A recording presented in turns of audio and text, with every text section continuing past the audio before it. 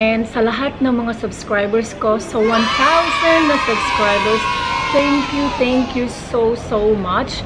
So yes, 1,000 na tayo guys. And ngayon, uh, ang gagawin natin ay pupunta tayo sa SM. Mamimili tayo ng giveaways.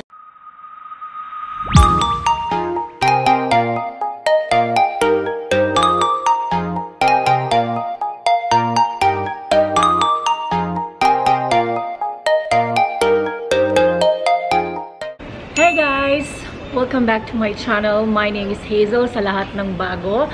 So don't forget to subscribe. And sa lahat ng mga subscribers ko, so 1,000 na subscribers, thank you, thank you so, so much. So yes, 1,000 na tayo guys. And ngayon, uh, ang gagawin natin ay pupunta tayo sa SM. Mamimili tayo ng giveaway. Samahan nyo ako. Let's see kung anong mabibili natin doon. Actually, meron na akong mga giveaways na na-order online. But, let's see kung meron pa tayong mabibili. But anyway, yes, um, aalis tayo ngayon. Actually, nandito ako sa aming uh, clubhouse, sa clubhouse ng place namin. So, we're just close to SM.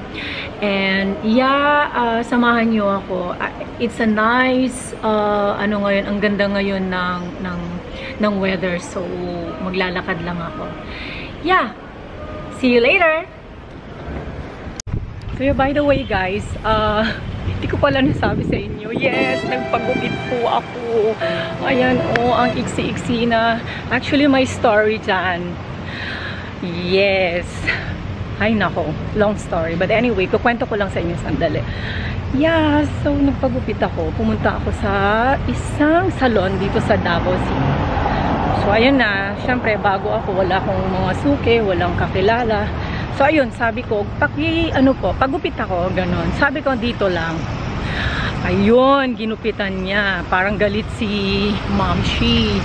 Galit si Besh. Ayun, ginupitan niya ako hanggang dito talaga. As in, talagang dire-diretso, hindi lang siya nagtanong. Kaya, tip, tip ko sa inyo, kapag nagpagupit kayo, doon kayo sa suki nyo or sa kakilala ng kaibigan nyo. Kasi, alam mo yon talagang walang walang patawad talagang ginupit na lang yon ng ganon but anyway andyan na yan kaya embrace na lang natin yung sobrang iksi ng buhok ko. Nakita na naman siguro yung kung gaano kahaba na nung hair ko. It's like somewhere here yeah. Nahiya ako guys kasi may mga tao nakatingin sila sa akin.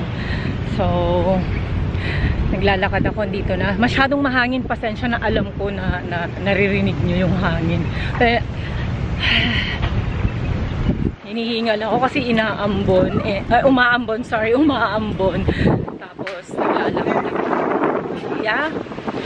Alright we're close now to SM okay guys. Samahan nyo ako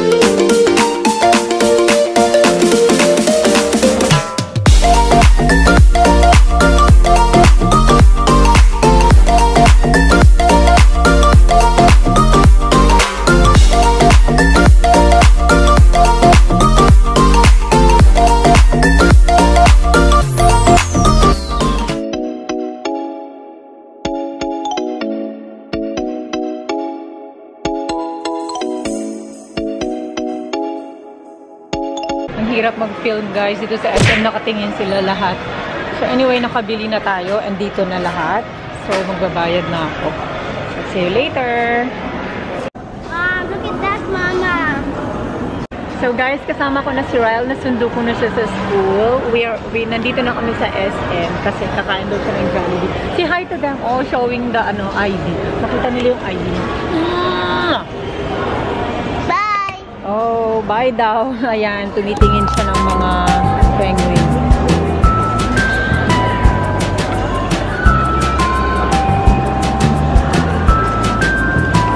Oh, he's got Ryle. So cute. Right? There's a candy inside.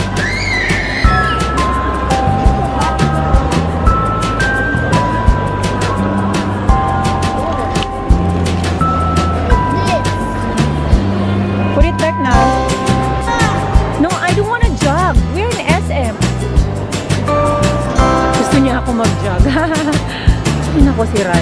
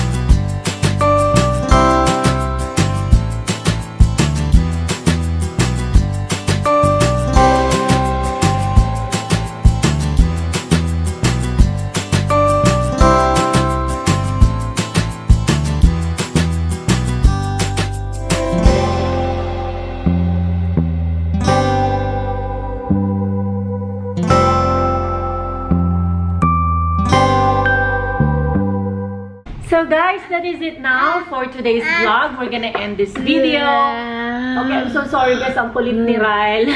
ang kulit-kulit niya. Okay, hang on sa aming giveaways sa susunod naming vlog. Thank you so, so much. Bye guys!